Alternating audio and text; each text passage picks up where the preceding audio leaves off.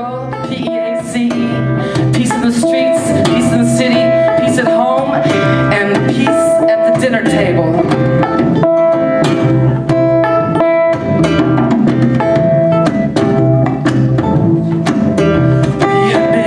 place.